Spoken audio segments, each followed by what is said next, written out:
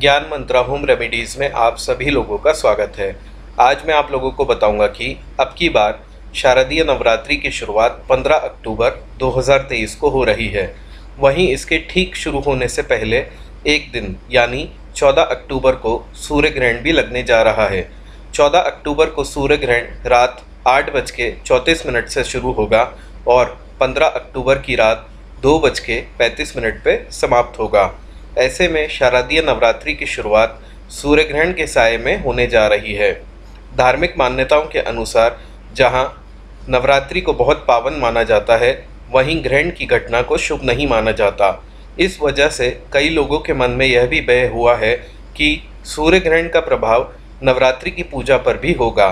तो चलिए जानते हैं, साल के आखिरी सूर्य ग्रहण का नवरात्रि की पूजा पर क्या प्रभाव होगा और घट स्थापना की विधि किस प्रकार होगी?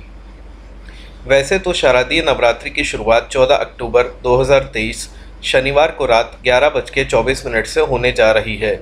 इस समय सूर्य ग्रहण भी लगा होगा, लेकिन फिर भी ज्योतिषों की माने तो उनके अनुसार सूर्य ग्रहण का नवरात्रि की पूजा पर कोई असर नहीं पड़ेगा, क्योंकि नवरात्रि में घट स्थापना का महत्व होता है और इस दिन घट स्थापना सूर्य ग्रहण के समाप्त होने के कुछ घंटों के बाद होगा।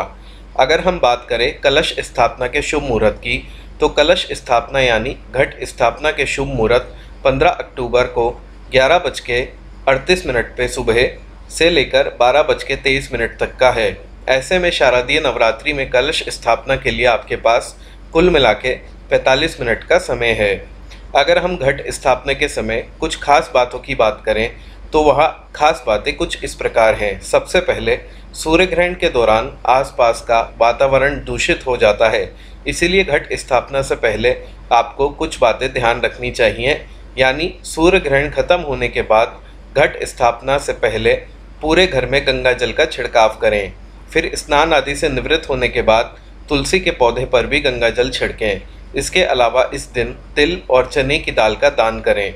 इसके बाद इस दिन विधि विधान से घट स्थापना करें, क्योंकि सूर्य ग्रहण के साय में हो रही शारदीय नवरात्रि की शुरुआत होने जा रही है।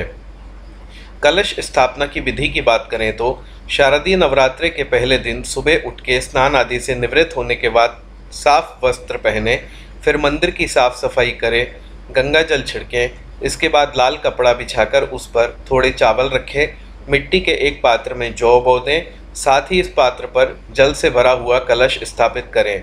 कलश में चारों ओर आम या अशोक के पत्ते लगाएँ और स्वास्तिक बनाएँ। फिर इसमें साबुत सुपारी, सिक्का और अक्षत डालें। एक नारियल पर चुनरी लपेटकर कलावे से बांधें और इस नारियल को कलश के ऊपर रखते ही माँ जगदम्बा का आवाहन करें। फिर दीप प्रज्वलित करने के बाद कलश की आप पूजा कर सकते हैं। बाकी हम इसके बारे में और भी वीडियोस बनाएँगे। अगर आप ऐसी ही और अधिक जानकारी चाहते हैं तो हमारा चैनल ज्ञान मंत्रा होम रेमेडीज सब्सक्राइब कीजिए। धन्यवाद।